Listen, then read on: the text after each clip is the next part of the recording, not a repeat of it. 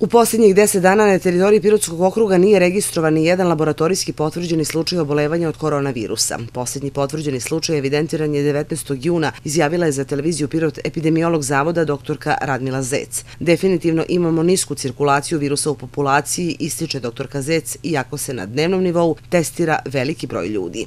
Ne možemo reći približavamo se nuli, a nećemo se nikad ni približiti jer je virus prisutan, ali daleko nižeg intenziteta nego što je to bio u, e, mi kažemo, srednji intenzitet, visok, vrlo visok, znači samo tako e, sada možemo da kažemo da je situacija povoljna, odnosno procenjuje se kao povoljna.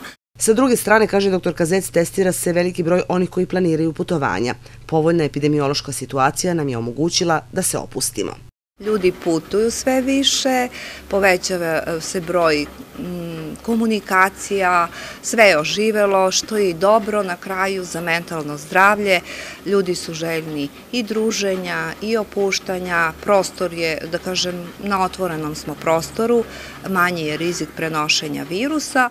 Doktor Radmila Zec je pozvala građane da iskoriste letnji period da se vakcinišu. Vakcinacija protiv koronavirusa u ovom trenutku, pored poštovanja epidemioloških mera, je jedini način da se stane na put epidemiji. Ono što je dobro i moram da istaknem pozitivno da smo mi na trećem mestu u Srbiji po obuhvatu, odnosno Pirotski okrug, posle grada Beograda i Nišavskog okruga.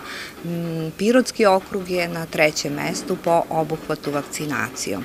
U celini, znači, mi, e, mi smo dobar obuhvat e, postigli kod osoba sa e, vakcinisanih starijih od 18 godina.